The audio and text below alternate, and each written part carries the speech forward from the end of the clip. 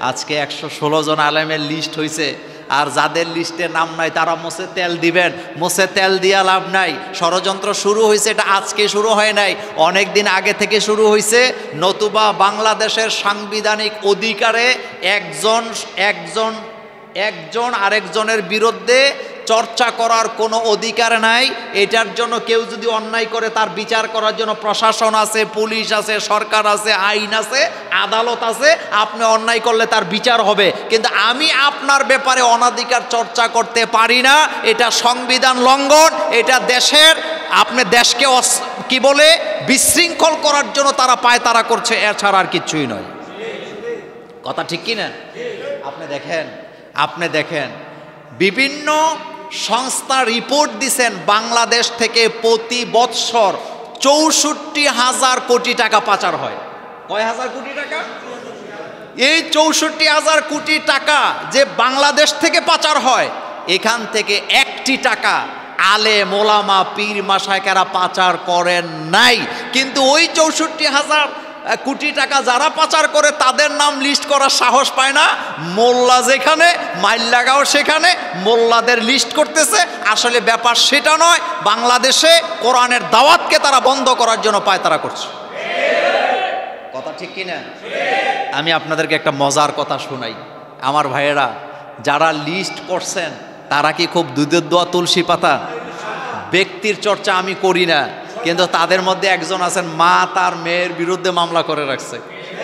Government, সরকার তাকে একটা জায়গায় পদ দিছিল ওখান থেকে তার কল ফাঁস হইয়া দুর্নীতি পাইয়া তারে ওই জায়গা থেকে বহিষ্কার করা হয়েছে বাকি আরও যারা আদার্স আছে, তাদের ব্যাপারে আমরা জানেন। আমি ওই ব্যাপারে কথা বলার কোনো প্রয়োজনই ছিল না। কিন্তু আমার কষ্টটা হলো, চোরের লিস্ট করলেন না, দুর্নীতিবাজের লিস্ট করলেন না, টাকা পাচারকারীর লিস্ট করলেন না, পিকে হালদারদের লিস্ট আপনারা করার সাহস পাইলেন না, ডাকাইতের লিস্ট করার সাহস পাইলেন না, সাহস পাইলেন মসজিদ, মাদ্রাসা আলেমলামার লিস্ট করার, এটার দ্বারা বোঝা যায় ডাল মেকুচ কাল- তারা কি বলছে জানেন? আলেমরা মানি লন্ডারিং করে। কীভাবে করে? বিদেশ থেকে আলেম আমার কাছে টাকা আসে। আমি আপনাদের কাছে জানতে চাই, আপনাদের এই মসজিদে প্রবাসীদের টাকা আছে না কম না বেশি? বাংলাদেশের মসজিদ, মাদ্রাসা, স্কুল, কলেজ, মাহফিল যা কিছু চলে ম্যাক্সিমাম টাকা প্রবাসীদের কষ্টার্জিত টাকা বাংলাদেশে তারা পাঠায় মসজিদ করার জন্য মক্তব করার জন্য ফোরকানিয়া মাদ্রাসা করার জন্য মাদ্রাসা করার জন্য। সুতরাং প্রবাসীদের টাকা মানি লন্ডারিং হয় আলেমলামারা এটা যেই কাজে হয় আজও হবে ভবিষ্যতেও হবে আরও বেশি বেশি হবে। কথা ঠিক কি না আপনি দেখেন একটা মসজিদ করবেন কাজ ধরবেন আপনি এই মসজিদের দোতলার কাজ যখন আপনারা ধরলেন, সবচেয়ে বেশি টাকা কারা দিছে? প্রবাসীরা দিছে না? দিছে। আপনি যদি একটা মাদ্রাসায় ধরেন, প্রবাসীরা সবচেয়ে বেশি টাকা দেয় কি দেয় না? আলেমোলামারা মানি লন্ডারিং করে। তবে এটা দেশের টাকা বাইরে পাঠায় নাই, বরং বাইরের টাকা দেশে আইন না মানুষের জন্য মসজিদ করে, মাদ্রাসা বানায়, জাতিকে ভালো করতে চায়, মাহফিল করাতে চায়। এটা চলাই লাগবে, এটা করার জন্য আল্লাহ অর্ডার দিয়েছে।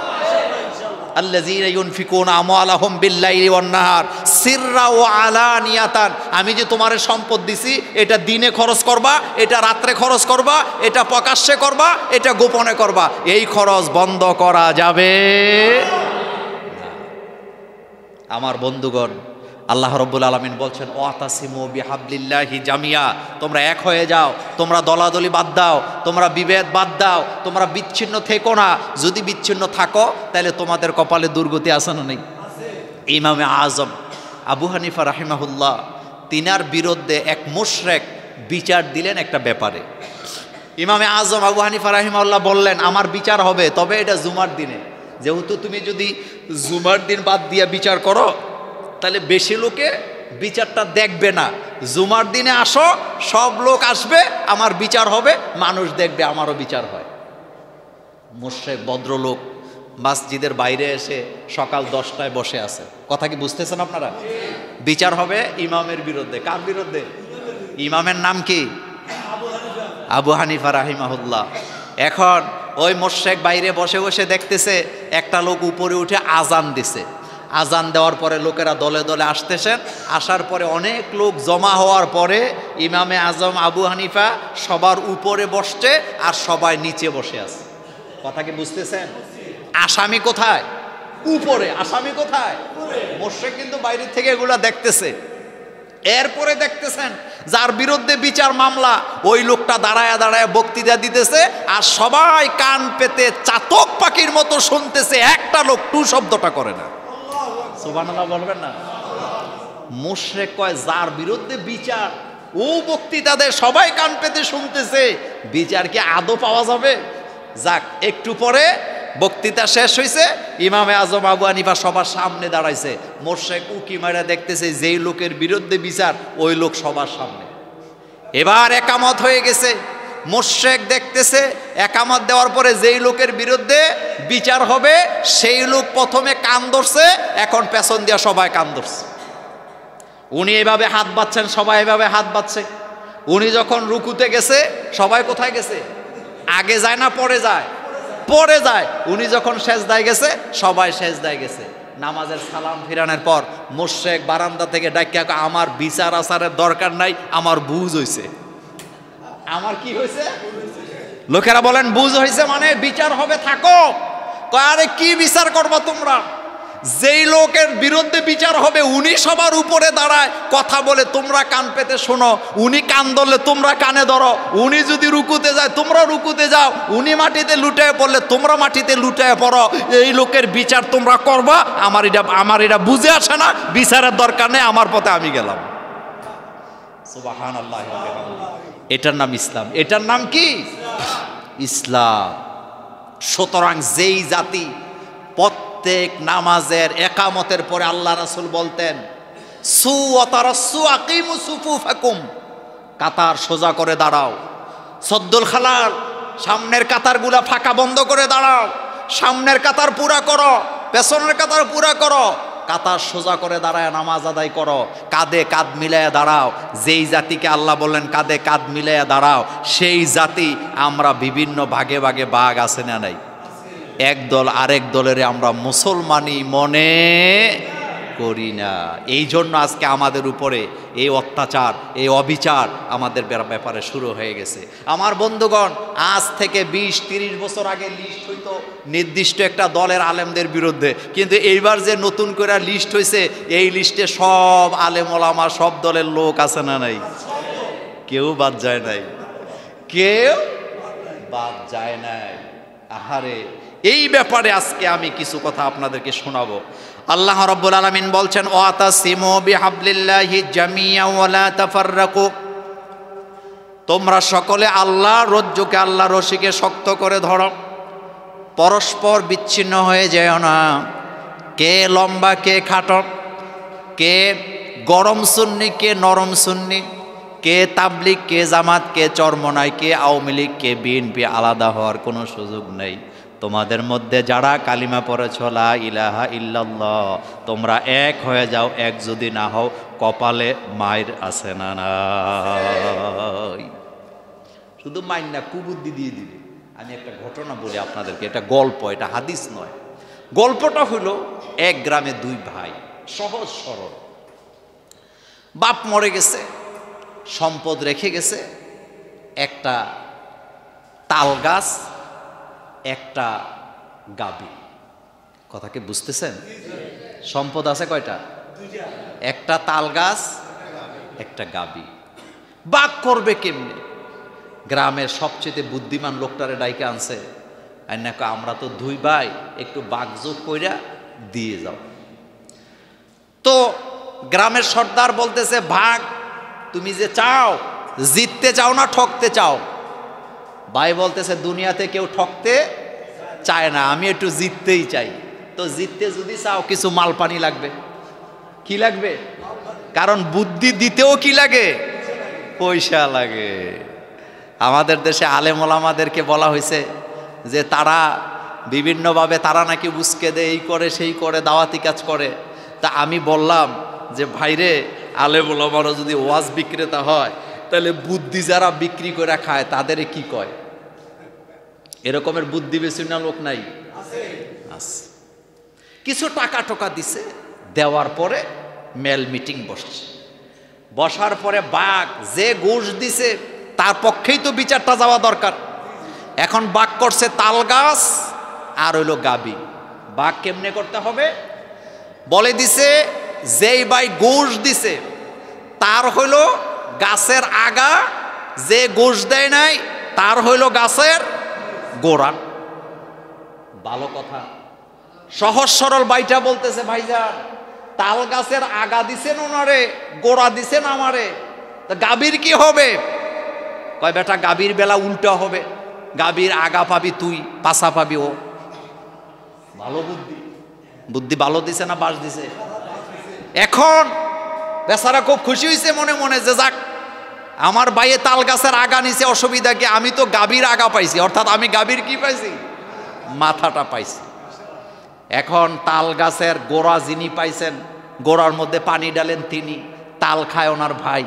গাভীরে আগা পাইছেন উনি, ঘাস খাওয়ায় উনি, ফ্যান খাওয়ায় উনি, মার খাওয়ায় উনি। এখন দুধ খায় কে? ভাইয়ে। তাহলে বেচারা ঠকছে না দিচ্ছে। কিছুদিন যাওয়ার পর বউ বলতেছে তোমার মতো বোকা মানুষ আমি আর দেখি নাই। এই খাবরায় দাঁত ফালা যাবে এত কথা কেন বলিস? ভাইয়ে ভাইয়ের মধ্যে ঝগড়া লাগাস। বউ চুপ করে আস কয়েকদিন পরে বউ আচ্ছা আমার একটা কথা বলতে দাও। তুমি তো আমারে শুধু ধমকি দাও। একটা কথা শোনো। কয়, কি কথা? আচ্ছা তাল গাছের বাঘ কীভাবে করছ? কয়, আগা হইল বাইয়ের গোড়া হইল আমার। আচ্ছা পানি তো তুমি ডালো, কয় হ্যাঁ তো তুমি যে পানি ডালো, তাল তোমার ভাগে আসেনি। কয় না, আমি তো তাল পাই না, এটা কি আমার নাকি? এটা তো আমার ভাইয়ের। একটা কাজ করো, তোমার ভাইয়ে তাল খাক, আগার মালিক উনি। তোমার কষ্ট করে গোড়ার মধ্যে পানি টানি দেওয়ার দরকার নেই। গাভীর বেলায়, গাভীর মুখ তোমার না তোমার ভাইয়ের? কয়, আমার পাশাকার? কয়, ভাইয়ের? কয়, তুমি গাছ খাওয়া বন্ধ করে দাও। ভাই কয়, ঠিকই কইছ। তালও খাই না, দুধও পাই না। খামোকা খাওয়ায় লাভ কি? আমার আগা গোড়া যা আছে, কপালে যা আছে তাই হবে। তাল গাছের গোড়ায় পানি দেওয়া বন্ধ, গাভীর মুখে খাবার দেওয়া বন্ধ।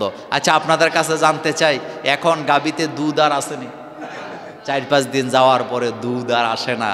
এখন ওই ভাই যায় বলতে কি, কিরে, গাভীর মুখ, মুখের মধ্যে খাবার টাবার দেস না, কারণটা কি?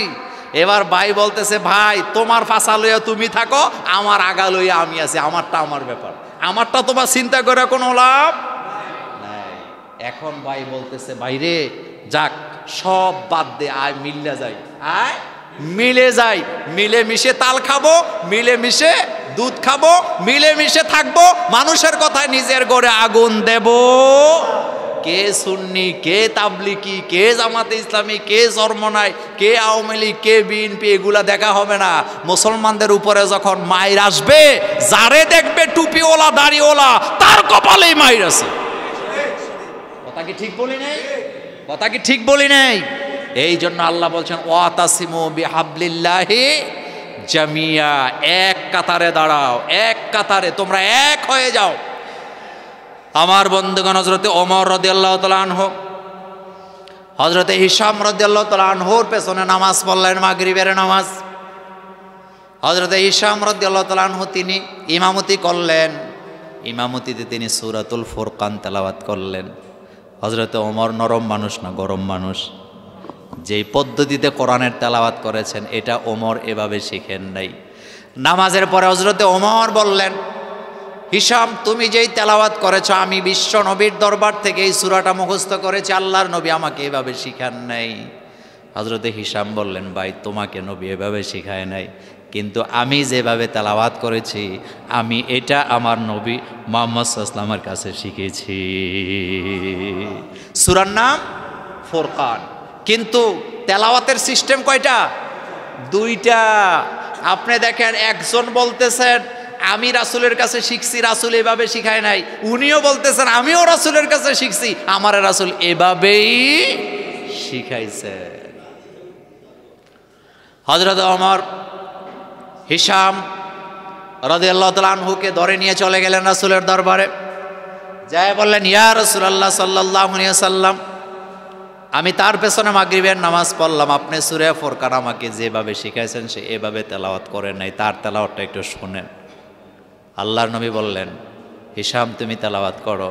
হজরতে হিসাম তেলাওয়াত করলেন।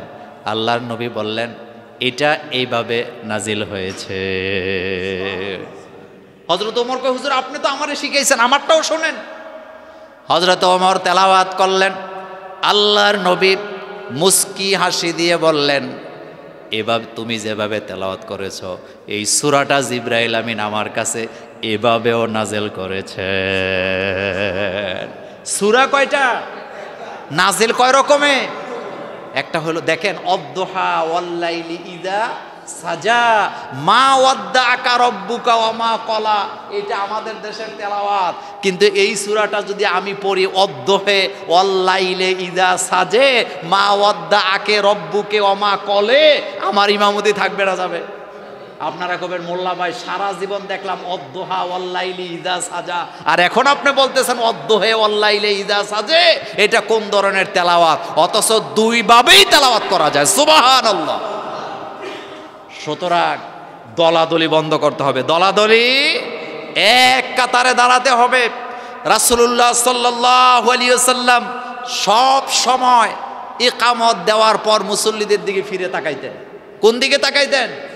আমাদের দেশে ইমামরা এটা করে না, অথচ এটা সুন্নত। একামতের পর মুসল্লিদেরকে সব সোজা করতে বলা, কাতার সোজা করতে বলা, এটা বিশ্বনবী মোহাম্মদ ইসলামের সুন্নত। আর আমরা এটা করি না। আমরা একামত দেয়, আল্লাহ আকবর বলেন, আমার শুরু করে দেয় বাকিরা জাহান নামে যাক। এরকমের চিন্তা ভাবনা আমাদের মধ্যে আসে না নাই? আল্লাহর নবী সাল্লাহ সাল্লাম আন আনাস রদি আল্লাহ তালু কল কাউন রসুল্লাহ সাল্লাহ আলহি ওসাল্লাম ইয়াকুল, আন ইয়ামিনি এটা দিলু সাউ সুফু ফাকুম হজরতে আনাস তালহু বলেন রাসুল্লাহ সাল্লাহ যখন ইমামতি করতেন, একামত দেওয়ার পরে আল্লাহ নবী মুখ ফিরিয়ে আমাদেরকে বলতেন, তোমরা ঠিক হয়ে দাঁড়াও, কাতার সোজা করে দাঁড়াও, কাতার সোজা করে দাঁড়াও, খালি জায়গাগুলি ভর্তি করে কাঁদে কাঁধ মিলাইয়া দাঁড়াও। এই যে আমরা মসজিদে আসছি, আমাদের মধ্যে আলাদা কোনো বিভেদ আছে? আসতে কইছেন, বিভেদ আছে? কোনো বাঘ আছে? বাঘ নাই। এক কাতারে আওয়ামী লীগ, বিএনপি, জামাত, জাতীয় পার্টি, হেফাজত তাবলিক কাউমি আলিয়া, সব এক কাতারে দাঁড়াই আমরা। কাঁধে কাঁধ মিলাইয়া দাঁড়াই। আমাদের ঘোষণা একটাই, আল্লাহ একবার আমাদের দেশের হুজুররা কথা বলার সময় উল্টা করে বলে রাসুল ইসলাম বলতেন, আকিমু সুফু ফাকুম সফা সুফু ফাকুম তারসু কাতার সোজা করে দাঁড়াও, আর আমরা কই কাতার সোজা করে দাঁড়াই। অর্থাৎ মুক্তাদির হুকুম ইমাম সাহেবের কান্দে চড়ায় দিতেছে। ইমাম তো ইমামের জায়গায় আছে, কাতার সোজা করার দরকার ইমাম নাকি মুসল্লিদের? মুসল্লিদের। এই জন্য অর্ডার, আমর তিন প্রকার, ইমাম কখনো মুসল্লিকে অনুরোধ করতে পারে না, বরং ইমাম মুসল্লিকে অর্ডার করবে। কি করবে? অর্ডার করবে। কি করবে? জোরে বলেন, কি করবে? আদেশ দিবে অর্ডার করবে। সোজা হয়ে দাঁড়াও মিয়া। রাসুল্লাহ সাল্লাম মেশকাতুল মাসাবিতে হাদিস এসছে। আল্লাহর নবী বলেছেন, কাতার সোজা করতে যে যায়, যার কারণে যে ইচ্ছা করে কাতার বাঁকা করে দাঁড়া কর, দাঁড়াবে, কেয়ামতে আল্লাহ তার কলিজাটা বাঁকা করে দিবে। আপনি কি মনে করছেন? কাতার সোজা করে দাঁড়াও। এখানে মাতাব্বরি চলবে। আল্লামা ইকবাল বলেছেন এক হি সফ মে খারা হোগে? মাহমুদ আয়াজ, না কুই বান্দা রাহা না কুই নায়াজ। শাহজাদা আর তার ড্রাইভার এক কাতারে দাঁড়াইছে। রাজা আর প্রজা এক কাতারে দাঁড়াইছে নামাজ পড়ার জন্য। এখন রাজা রাজা নাই পজা পজা নাই, সব আল্লাহর গোলামে পরিণত হয়েছে। এখন সবাই কার গোলাম? মন্ত্রী আর মন্ত্রী সাহেবের ড্রাইভার একসাথে দাঁড়াইছে নামাজে। নামাজ পড়তে যে আনফর্চুনেট, ড্রাইভারের পা যায়া মন্ত্রীর পায়ে ধাক্কা খাইছে। মন্ত্রীর আব্বার ক্ষমতা নাই নামাজের পরে বলার, বেটা নামাজের ভিতর আমারে লাথি মারলি কেন? এটা বলতে পারবে? কোনো সুযোগ নাই। কারণ এখানে মন্ত্রীগিরি প্রেসিডেন্টগিরি চলে না। মসজিদে যখন আমরা ঢুকি আমরা সবাই আল্লাহর গোলাম হয়ে যাই। কার গোলাম হয়ে যায়? এই শিক্ষা দিয়েছেন কে? আল্লাহ। পাক। আমার বন্ধুগণ এই যে অনৈক্যর সৃষ্টি হয় এমনি এমনি হয় না। হিংসা বিদ্বেষের কারণে আমাদের মধ্যে হয়। হয় কি হয় না? হজরতে আবু হরাই আনহু বলেছেন মুসলিমরা মুসলিমরা যে অনক্য তৈরি হয়, তার পাঁচটা কারণ বড়। কয়টা কারণ? এক নাম্বার কারণ হলো, মুসলিম ভাই তার আরেক মুসলিম ভাইয়ের ব্যাপারে ধারণা করে, মিথ্যা আরোপ করে। ধারণা করে কি করে? মিথ্যা আরোপ করে। আপনি দেখেন, আমরা একজন মুসলমান আর একজন মুসলমানদের বলি ইহুদিদের দালাল। কথা কি শুনছেন কোনো দিন বলে কি বলে না? কার দালাল? আচ্ছা আপনি বলেন, কোন মুসলমান আজ পর্যন্ত কোন ইহুদিদের দালাল হওয়ার কোনো সম্ভাবনা আছে? কিন্তু বলে দিচ্ছি, তে ইহুদিদের দালাল, ওমক পিসাব ইহুদিদের দালাল, ওমক দল ইহুদিদের দালাল, ওমক দল এই, ওমক দল সেই। এই যে মিথ্যা ধারণায় মিথ্যা আরোপ করা হয়, এই জন্য একজন আরেকজনের কি হয়? শত্রু হয়ে যায়। দুই নাম্বার, বিনা কারণে দোষ তালাশ করা। বিনা কারণে কি করা? দোষ তালাশ করা, গোয়েন্দাগিরি করা।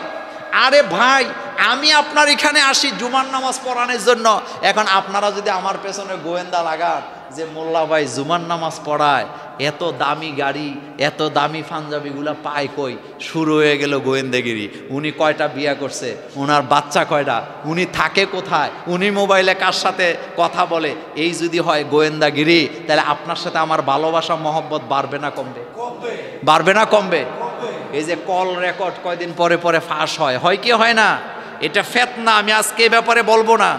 একজন আরেকজনের দোষ তালাশ করার কারণে আমরা একে অপরের শত্রু হয়ে যাই। শশিনার পিসাব যদি চরমনার হুজুরের দোষ তালাশ করে, চরমনার পীর যদি আপনার ফুরফুরার কি করে? দোষ তালাশ করে। ফুরফুরার তারা যদি জোনপুরের দোষ তালাশ করে, আওয়ামী লীগ যদি বিএনপির দোষ তালাশ করে, জামাত যদি হেফাজতের দোষ তালাশ করে, তাহলে দিনে দিনে বন্ধুত্ব বাড়বে না শত্রুতা বাড়বে? শত্রুতা বাড়বে। এই কথা হজরতে আবু হরায়রা রদি আল্লাহ তালাহ বলেছেন, ওয়ালা তাহাসু ওয়ালা তাজাসু খবরদার, তোমরা কারও দোষ তালাশ করো না। এরপরে তিন নম্বরে গোয়েন্দাগিরি করা। গোয়েন্দাগিরি করা মানেটা কি? আমার পার্সোনাল ব্যাপারে আপনি চব্বিশ ঘণ্টা লেগে আছেন, ওই যেটা একশো ষোলো জনের ব্যাপারে হয়েছে হয়েছে কি, হয় নাই? আচ্ছা আপনি বলেন তো, এই লোকগুলোর কি আর কোনো কাম কাজ নাই? বাইশ শত পৃষ্ঠা কত পৃষ্ঠা হারি বাপরে কত পরিশ্রম করছে। আপনি চিন্তা করেন কি সাহাবের কাজ? বাইশ শত পৃষ্ঠার একটা ভলিউম তৈরি করছে। এদেশের আলেমরা কি করে? এদেশের কি বলে, খতিবরা কি করে? এদেশের বক্তারা কি করে? এদেশের পিস পীর মাসায়কেরা কি করে? গোয়েন্দাগিরি করতে করতে করতে করতে বাইশ শত পৃষ্ঠার ভলিউম তৈরি কইরা বাংলাদেশের এই প্রান্ত থেকে ওই প্রান্ত পর্যন্ত লাগাই দিছে আগুন। তা আমি জানতে চাই, আপনি যদি আমার পেছনে গোয়েন্দাগিরি করেন, আপনার সাথে আমার ভালোবাসা, মহব্বত বাড়বে না কমবে। আজীব কারবার আজীব কারবার। আমরা একে অপরের ব্যক্তিত্বের উপরে আঘাত করি। করি কি করি না? আচ্ছা আমি আপনাদের কাছে জানতে চাই শরীয়তে একাধিক বিয়া এটা কি হালাল না হারাম? আসতে কইছে। হালাল। না? একাধিক একটা বিয়া করে আরেকটা প্যাম করলে এটা হালাল না হারাম? এখন কেউ যদি একটা বিয়া করে আরেকটা প্যাম করে এটা দোষের কিছু না এ করতেই পারে। কিন্তু কেউ যদি দুইটা বিয়া করে আলেম হয়েও আলেমের বিরুদ্ধে শুরু হবে। যেমন মনে করেন, আমার এই ইচ্ছা নাই। আমি যদি আগামী দিন শুনে যে আমি যদি আরেকটা বিয়ে করি, আপনাদের মধ্যে অনেকে কানাকানি করবেন। আপনারা শুনছেন নি? মোল্লা ভাই, বড় বড় কথা কয়, উনি তো আরেকটা বিয়ে করে ফেলাইছে। আচ্ছা আমি কি কারও কোনো ক্ষতি করছি? শরীয়তের কোনো বিরোধী কাজ করছি? আরে ভাই, ইসলামের হুকুম আছে, সুযোগ থাকলে করো। কিন্তু আমি কেন দুইটা বিয়ে করলাম? এটা শুধু আপনারা সমালোচনা করবেন, ব্যাপারটা এমন নয়। আমার যারা সহপার্টি আছে, আমার যারা আমার যারা সহপার্টি আছে, তারাও সমালোচনা করে একজন আরেকজনের মেসেঞ্জারে বলবে, জাননি খবর? মোল্লা রাজিম কাম বানায় ফেলাইছে। উনি আবার বলবে, কি বল, কি করছে? উনি আরেকটা বিয়ে করে ফেলাইছে। চিন্তা করছেন? এই যে আমাদের স্বভাব, আমাদের চরিত্র, এমনও আকিদা আমার আছে, আপনি আশ্চর্য হবেন, যেমন কথার কথা। তাবলিকের বাইদের উপরে আমি যদি একটা অপবাদ দেই, যেটা তাবলিকের বাইদের মধ্যে কি? নাই। আমি আপনাদের কাছে জানতে চাই তাবলিকের ভাইয়েরা জীবনে আমারে আর কোনোদিন ভালোবাসবে? আমার কোনো কথা তারা শুনবে? আমি যদি জামাতে ইসলামের ব্যাপারটা জামাতের বাইদের মধ্যে নাই, তাহলে তাদের সাথে আমার দূরত্ব বাড়বে না কমবে? সেম আপনি যদি আপনার নিজের বাইয়ের বিরুদ্ধে এমন কোনো কথা বলেন, যেটা আপনার বাইয়ের মধ্যে নাই তার সাথে আপনার ভালোবাসা দূরত্ব বাড়বে না কমবে? এই জন্য সাবধান। সাবধান, আল্লাহ নবী শিখাচ্ছেন ওলা তাহা সাধু গোয়েন্দাগিরির পরে নবীজি বলেন, খবরদার, হিংসা করো না। কি করো না? হিংসার নমুনাটা কি জানেন? হিংসার নমুনাটা হইল, যারা একশো ষোলো জন আলেমের লিস্ট করছে, তারা একটা অভিযোগ করছে, হুজুররা হেলিকপ্টার চড়ে। কথা কি বুঝে হুজুররা কি চড়ে? আমি যখন সিক্সে পড়ি, আমাদের মুরাদনগর এবং দাউদকান্দি মিল্লা একটা ফুটবল খেলা হয়েছিল। আমার মনে আছে, ছাত্র জীবনের কথা, ফুটবল খেলা দেখতে যাইয়া দেখলাম দুই দলেই হেলিকপ্টার দিয়ে খেলোয়াড় নিয়ে আসছে। কে নিয়ে আসছে? ফুটবল খেলতে আসছে, তাদেরকে হেলিকপ্টার দিয়ে আনছে। এখন এই দেশের অসংখ্য নায়ক নায়িকা গায়ক গায়িকা নর্তকীরা হেলিকপ্টার চড়ে কি চড়ে না? আসতে কইছেন ওনারা আজীবন হেলিকপ্টার চড়ে কারও কোনো মাথা ব্যথা নাই। কিন্তু আলে মোলামারা হেলিকপ্টারে চড়ে ওয়াজ করবে, ওনাদের গোম হারা হয়ে গেছে। অথচ ওনারা জানেই না যে হেলিকপ্টারের টাকা আসে কীভাবে। হেলিকপ্টার মূলত সব আলেমরা ব্যবহার করে না, দুই একজন। যাদের পপুলারিটি বেশি, ওয়াজ মাহফিল বেশি। যেমন মনে করেন, আমার রাতের বেলা একটা মাহফিল ফরিদপুর। তো এখন ব্রাহ্মণবাড়িয়া থেকে কেউ যদি আমার মাহফিল চায়, যে ওই দিনই আমাদেরকে দিতে হবে, দিনের বেলা দেন। তাহলে ফরিদপুর আর ব্রাহ্মণবাড়িয়া কাছাকাছি না দূরে? এখন আমি যদি এই দুইটা মাহফিল করতে হয়, মাঝখানে দিনে যেটা করব, এটা করতে হলে বাধ্য হয়ে কী লাগবে? এখন এনায়তুল্লাহ আব্বাসী বলেন, যেই বলেন এক্স ওয়াই জেড কেউ যদি, কেউ কেউ হেলিকপ্টার ব্যবহার কেন করলেন? এটা তাদের গাত্রদহ শুরু হয়ে গেছে যে হুজুররা মোল্লারা কেন হেলিকপ্টার ব্যবহার করবে? মোল্লারা কেন গাড়ি চড়বে? আমি আপনাদের কাছে একটা কথা বলি, দেখেন, এই দেশের কোন বক্তার গার্মেন্টস আছে? আসতে কইছে। কম্পোজিট ফ্যাক্টরি আছে? নাই। কিচ্ছু নাই, একটা স্টেডিয়াম আছে? নাই। আলেমদের টাকা হইলে করেটা কি? খুব ঠান্ডা মাথায় বুঝবেন। আল্লাহর কসম, আমি আমার আল্লাহর জাতের কসম করে আল্লাহকে সাক্ষী রেখে আপনাদেরকে আমি কথাগুলো বলছি। আলেম ওলামাদের হাতে যদি দুইটা পয়সা আসে, আলেমরা কম্পোজিট ফ্যাক্টরি করে না, আলেমরা বিদেশে বাড়ি বানায় না, আলেমরা সিঙ্গাপুরে, আমেরিকাতে নাগরিকত্ব চায় না, বরং আলেমরা এই দেশের মাটিতে হয়, মসজিদ বানায়, না হয় মাদ্রাসা বানায়। ঠিক বললাম? আমি কি কথা ঠিক বললাম? তাহলে এত গাত্রদহ কেন? এত গাত্রদহ কেন? কারণ একটাই, মোল্লারা কেন হেলিকপ্টার চলবে মোল্লারা কেন বিমান চলবে একটা মজার ঘটনা বলি। যশোর যাব মার্চ মাসের লাস্টের দিকে। তো বিমানবন্দরে বসে আছি। এখন এক প্রফেসর মহিলা, আমি ওনারা আগে চিনতাম না, এরকমের চুল, একটা গেঞ্জি পরে আছে আর একটা প্যান্ট পরে আছে, জিন্সের প্যান্ট তো মহিলা আমার পাশে বসা, একটু বিমান আরও আধা ঘণ্টা পরে আমরা উঠব। তো মহিলা আমার দিকে তাকাইয়া আরেকজনকে বলতেছে, এটা মোল্লা নাজিম না? উনি কয়, জি, এটা মোল্লা নাজিম।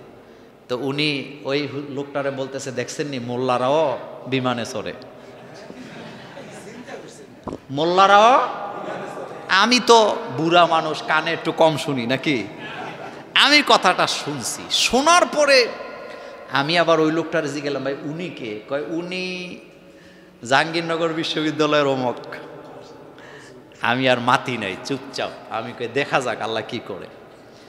মার্চ মাসের লাস্টের দিকে হঠাৎ তুফান, বৃষ্টি আসে না নাই?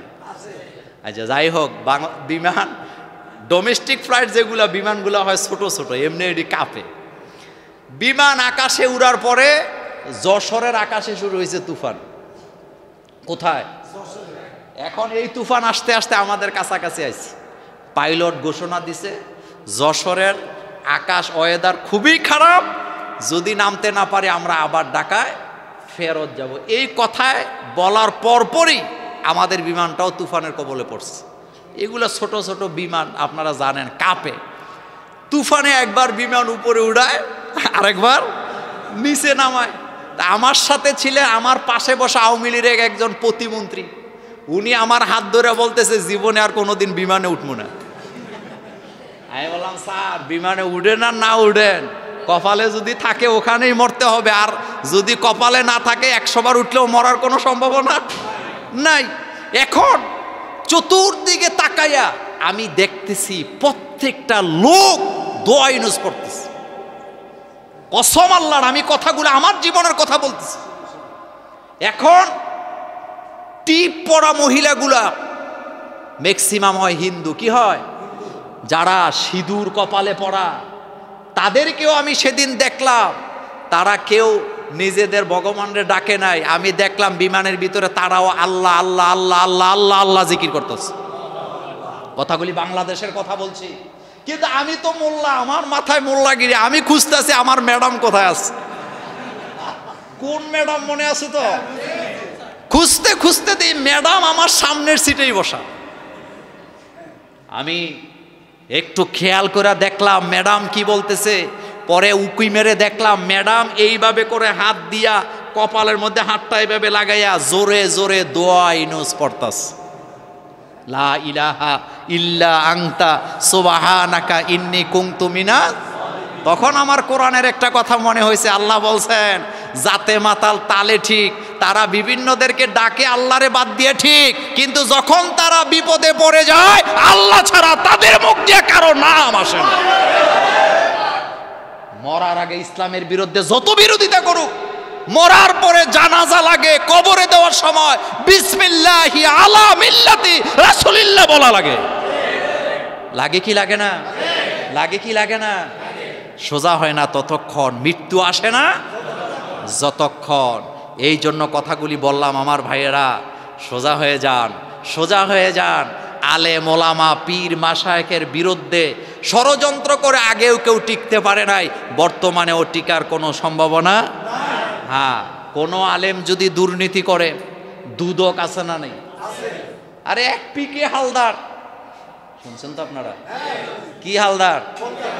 পিকে হালদার কত টাকা ভারতে পাচার করছে হিসাব নাই। এরকম আরও অসংখ্য পিকে হালদার বাংলাদেশে আছে না নাই? আমি আমি গ্যারান্টি দিচ্ছি কোন আলেম যদি দুর্নীতি করে আপনি তাকে ধরেন ধরার জন্য দুদক আছে প্রশাসন আছে, বিচার হবে। কিন্তু আপনি একজন নাগরিক হইয়া আরেকজন নাগরিকের অধিকার হরণ করে তার চরিত্র হরণ করতে আপনি পারেন না। এই অধিকার বাংলাদেশের সংবিধান আপনাকে দেয় নাই। এর জন্য বিচার আছে, দেশ আছে, আদালত আছে। এদেশের আলে মোলামারা কয় টাকা দুর্নীতি করতে পারবে? আমি মাঝে মধ্যে বলি প্রাইমারি স্কুলের প্রাইমারি স্কুলের একজন সাধারণ টিচার যদি বলে, আমি ঘুষ খাই না। তাহলে এই কথাটার কি কোনো গ্রহণযোগ্যতা আছে? আপনারা হাসিয়া হাসিয়া করবেন মিয়া প্রাইমারি স্কুলের টিচার ঘুষ খাবে তোমার দিব কেডায়? ঘুষের তো কোনো জায়গাই নেই। বড় জোর বড় ফিসের টাকা তিরিশ টাকা খাইতে পারবে কথা ঠিকই না?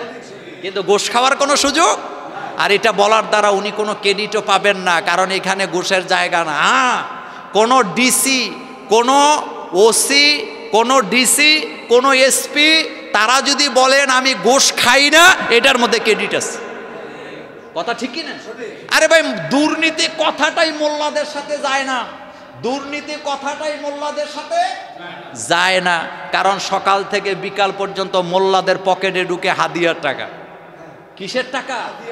হাদিয়ার টাকা। এছাড়া কিছুই নেই। গোষ্ঠটা খাইব কোথেকে তবে আমাদের দাবি হলো, অবৈধভাবে যারা সম্পদ বানাইছে পারলে তাদের একটা লিস্ট করেন।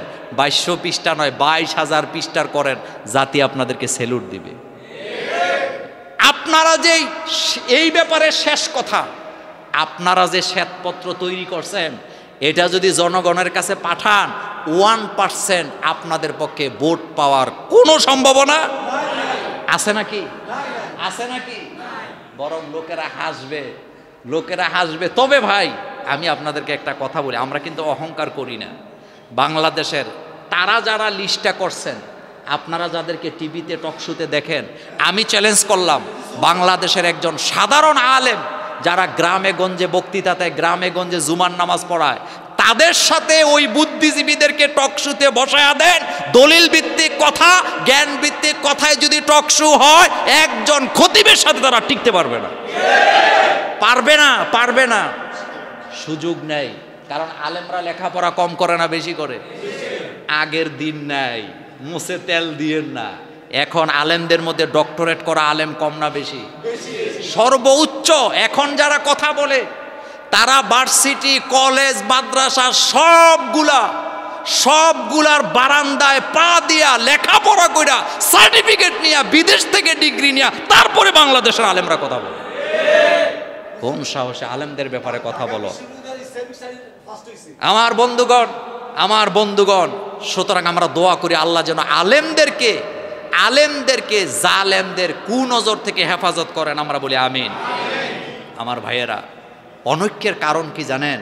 কিছু কিছু লোক আছে, নিজেদেরকে মুসলমান বলে পরিচয় দেয়, কিন্তু তারা তারা কারও না কারও কাছ থেকে কি খায়? এটাই হলো আসল কারণ। এটা কি? আরেকটা কারণ আমাদের মোল্লাদেরও দোষ আছে, সেটা কি জানেন? মাঝহাবি বিতর্ক। কি বিতর্ক?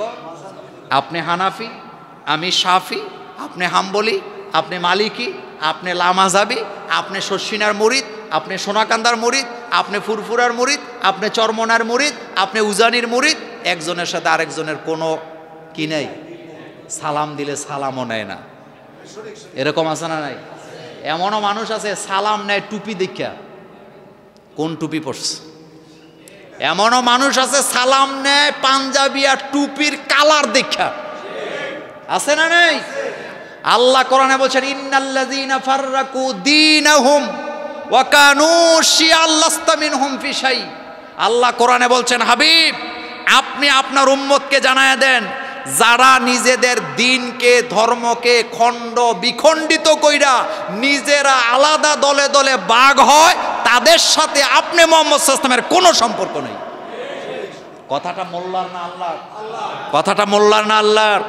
আল্লাহ কোরআনে বলছেন, ইন্নাল্লাযীনা ফাররাকু দীনাহুম ওয়া কানু শিয়া'আল লাস্তা মিনহুম ফি শাই। আমরা মুসলমান, আমরা যদি ঐক্য করতে চাই, একটা রাস্তা আমাদের জন্য খোলা আছে। কয়টা রাস্তা? সেটা হলো, কে মিলাদ পড়েন কে পড়েন না? কে বুকে হাত বাঁধেন? কে বাঁধেন না? কে জোরে আমিন বলেন? কে আস্তে আমিন বলেন? কে কোন পীরের মুরিদ? কে কোন মাঝহাব মানেন? সব ভুলে যান। একটা জায়গায় এখন আমাদের কালিমা এক, আমাদের নবী এক, আমাদের আল্লাহ এক, আমাদের ইসলাম এক। আমাদের একটাই স্লোগান হবে লা ইলাহা মুহাম্মাদুর সাল্লাল্লাহু এই কালিমা যারাই পড়ে, যারাই মানে তাদের সাথে আমরা সবাই একদল।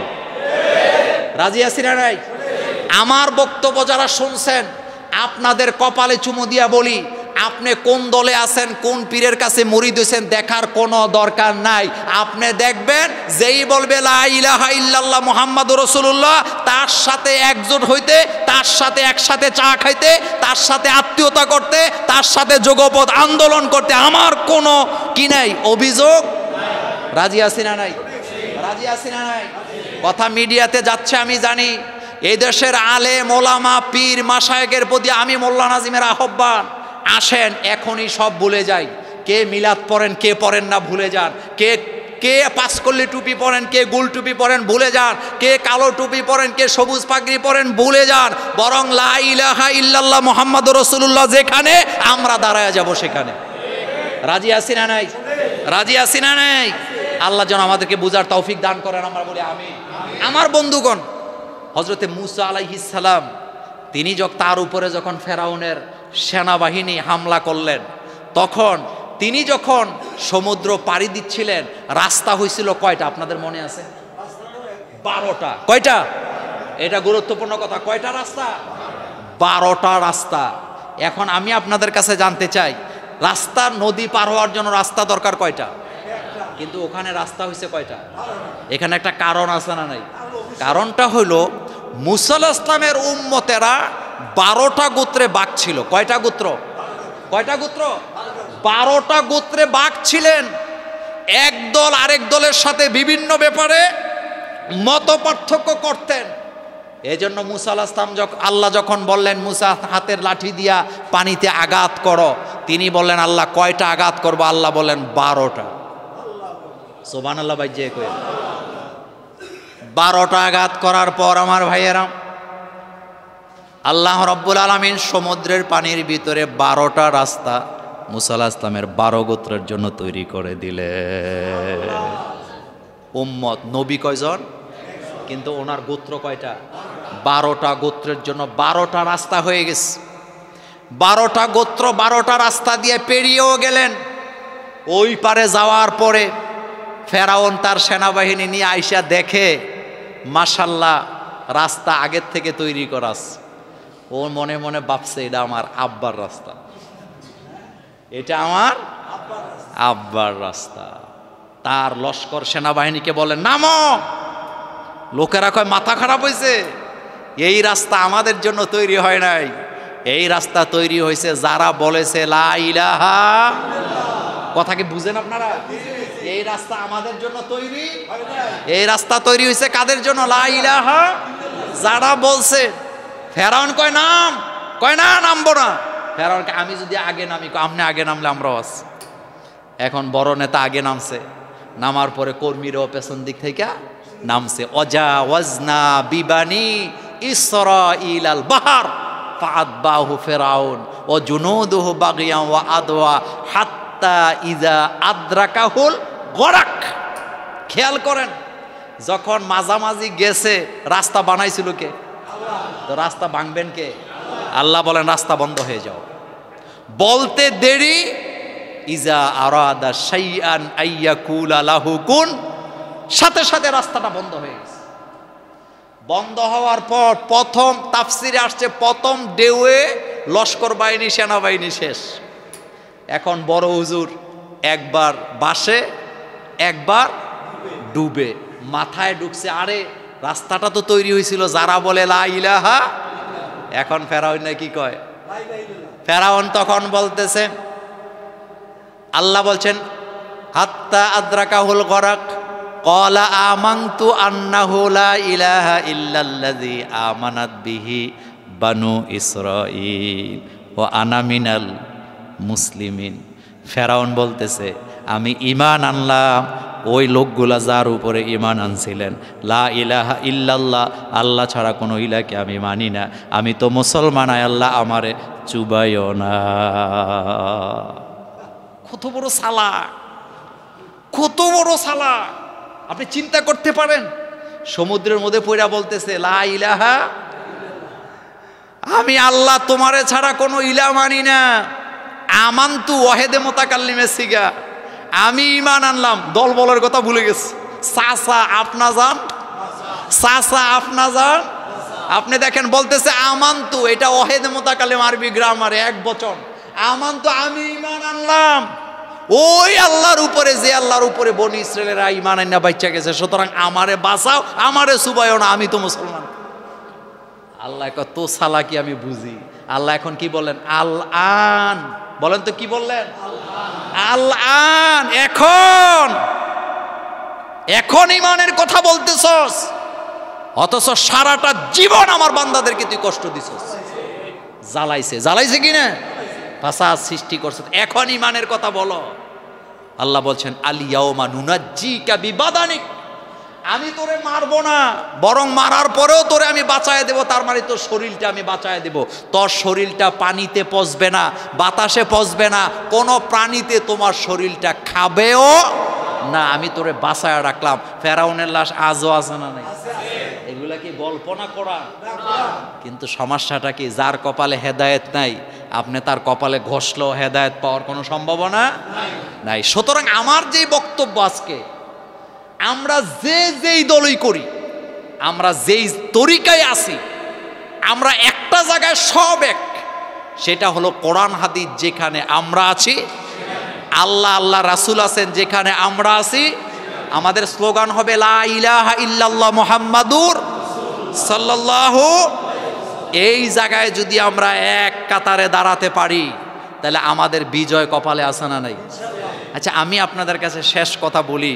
শেষ কথা বলি, দিনে দিনে ইসলামের দাওয়াত বাংলাদেশে বাড়তেছে না কমতেছে? মুসল্লি বাড়তেছে না কমতেছে? আলেমের সংখ্যা বাড়তেছে না কমতেছে? বড় আলেমের সংখ্যা বাড়তেছে না কমতেছে? বাড়তেছে। এই পৃথিবীতে গত এক যুগ ধরে হেফজুল কোরআন প্রতিযোগিতায় সর্বোচ্চ জায়গাটা যারা ধরে আসে, সেটা আমার সোনার বাংলাদেশ। কথা ঠিক কি না আপনি আশ্চর্য হবেন। এই দেশের ছেলেগুলা, এই দেশের ছেলেগুলা বাংলাদেশের পতাকাকে যেই পর্যায়ে নিয়ে গেছে, যারা বুদ্ধি বিক্রি করে খায়, যারা আমাদের সমাজে বুদ্ধি বেচা বিশৃঙ্খলা লাগায়, তারা পতাকার মান উপরে তুলতে পারে নাই, বরং পতাকা তাদের দ্বারা বেজ্জিতি হচ্ছে। একশো তিনটা, একশো তেরোটা, একশো তিরিশটা দেশের সকল পতাকার উপরে আমার বাংলাদেশের লাল সবুজের পতাকা বুদ্ধিজীবীরা উড়াতে পারে নাই। হাফেজে করার কোরআন আলেমলামারা উড়াইছে। কথা কি বানায় বলতেছি? কথা ঠিক কি না এদেশের আলেম ওলামারা উড়াইছে। এদেশের আলেমরা উড়াইছে। আপনি আশ্চর্য হবেন, ইউরোপ বলেন, ইউরোপের যতগুলা দেশ আছে, এমন কোনো দেশ নাই যেখানে বাংলাদেশের ছেলেরা ইসলামের দাওয়াতি কাজ করে না। আপনি কি মনে করেন? পৃথিবীতে এই যে তাবলিকের একটা জামাত, আজকে এখানে তাবলিক আছে না নাই? পৃথিবীতে যত দেশের লোকেরা বিভিন্ন দেশে তাবলিকের দাওয়াত নিয়ে যায়, সবচাইতে বেশি যায় বাংলাদেশের লোকেরা। আলহামদুলিল্লাহ বলবেন না? আরও আশ্চর্য হবেন, এই পৃথিবীতে যত দেশের আলেমরা বিভিন্ন দেশ সফর করে, সবচেয়ে বেশি দেশ সফর করে বাংলাদেশের আলেমরা। আর আমাদের খাইসত খারাপ, আমরা একজন আরেকজনের ঠেঙ্গি দূরে টানি। কয়দিন আগে দেখছেন মিজানুর রহমান আজহারি লন্ডনে যাবে। লন্ডনের লোকেরা এটা বাধা দেয় নাই। বাংলাদেশের কিছু বুদ্ধিজীবীরা ওখানে বুদ্ধি বেচে খায় তাদের কারণে ও দেশে যাইতে পারেনি আমি আপনাদের কাছে জানতে চাই মিজানুর রহমান আজহারে যদি লন্ডনে যাইতেন সে যদি সেমিনারে বক্তৃতা দিতেন তাহলে নাম হইতো কোন দেশের? কিন্তু যে বুদ্ধিজীবীরা বুদ্ধি বেচা খায় তারা দেশের ক্ষতি করছে না লাভ করছে? তারাই দেশের আসল শত্রু। তারা দেশের কি? আসল শত্রু। যারা দেশের মাটি বিক্রি করে খায়, তারা হইয়া যায় দেশপ্রেম। আর আমরা প্রত্যেক জুমার নামাজে দেশের জন্য নাম ধরে দোয়া করি আল্লাহ ইরহাম আলা বিলা বিলা দিনাল বাংলাদেশ। আমরা দেশের শত্রু হইয়া যায় দেশের জন্য দোয়া কইরা। আরে ভাই, দেশের জন্য দোয়া করতে হবে এটা আমাদেরকে দুনিয়ার কেউ শিখায় নাই, এটা আমাদের বাবা ইব্রাহিম আল আসলাম আমাদেরকে শিখাই গেছে। কথা ঠিক কি না সুতরাং আমরা হয়ে যাই দেশের শত্রু। দশ টাকা জীবনে এদিক সেদিক করি না। যদি করি, সেটা ইসলামের জন্য করি। আর ওনারা বুদ্ধি বেচ্চা খাইতে খাইতে বারোটা বাজায় সব জায়গার এখন ওনারা হয়ে গেছে দেশপ্রেমিক। এর মানে হলো ডাল মেকুচ এই জন্য আপনাদেরকে সজাগ থাকতে হবে। আমার কথা বলার উদ্দেশ্য হলো, যে জোরে আমিন বলে বলুক, যে বুকের উপরে হাত বাঁধে বাঁধুক যে বুকের নিচে হাত বাঁধে বাঁধুক, যে পাঁচকল্লি টুপি পরুক পরুক, যে গুল টুপি পরে পরুক, যে পাগড়ি সাদা সে সাদা পরুক, যে সবুজ পাগড়ি পরে পরুক, যে যেখানে আছে সেই জায়গায় থাকুক, কিন্তু তার সাথে আমার সম্পর্ক হবে কালিমার সম্পর্ক। কিসের সম্পর্ক? মোহাম্মদুর সাল্লাল্লাহু। আল্লাহ আমাদেরকে বুঝার তৌফিক দান করুক। আমরা বলি আমিন। শেষ কথা, আপনি যদি আমাকে গালি দেন, আমি আপনাকে গালি দেব না। এটা কার শিক্ষা? হাদিসটা নোট করেন সব কথা বলা যায় না। হজরতে ওমর ইবনে আবদুল্লাহ রদি আল্লাহ তাল আনহুমা কল কলা রাসুল্লাহি সাল্লাহ সাল্লাম ইদা সাব্বাকা রজুলুন বিমা ইয়া আলামু মিনকা ফালা তাসুব্বাহু বিমা তালামু মিনহু। আল্লাহ রাসুল সাল্লাহ সাল্লাম বলছেন ফাইয়াকুনা আজরু জালিকা রাসুল বলেন, তোমারে যদি কেউ গালি দেয়, তুমি যদি গালিটা না দিয়া সহ্য, ধৈর্য ধারণ করতে পারো, ওইটার বিনিময়ে আল্লাহ তোমাকে দ্বিগুণ সবাব দান করে দিবেন। কয়গুণ সবাব দ্বিগুণ সবাব দান করে দিবেন। হজরতে আবু বকর সিদ্দিক রদি আল্লাহ আনহু, তিনি একজনের সামনে দাঁড়িয়ে আছেন। ওই লোকটা তাকে গালাগালি করতেছেন। ওই লোকটা তাকে কি করতেছেন? জি জি, সামনে চলে আসেন। ইদ্দিস ভাই মেহমান সামনে নিয়ে আসেন। আসেন। যেই লোকটা, খেয়াল করেন, যেই লোকটা হজরতে আবু বকর সিদ্দিককে গালাগালি করতেছিলেন আর মোহাম্মদ রসুল্লাহ সাল্লাহ সাল্লাম তিনি মুস্কি মুস্কি হাসতেছিলেন। এক পর্যায়ে হজরত আবু বকর সিদ্দিক গালির জবাবে একটা কথা বললেন। আল্লাহ রাসুল সাল্লামের চেহারা মোবারক গোসায় কালো হয়ে গেল। এবার রাসুল্লাহ সাল্লাহ আসলামকে হজরত আবু বকর বললেন, ইয়া রসুল্লাহ সাল্লাহ সাল্লাম আপনি এতক্ষণ লোকটা আমাকে গালাগালি দিচ্ছিলেন, আপনি মুস্কি মুস্কি হাসতেছিলেন। আর এখন আপনি এখন যখন আমি একটা কথার জবাব দিলাম, আপনি চেহারা মুবারক গোসায় কালো করলেন, কারণটা কি?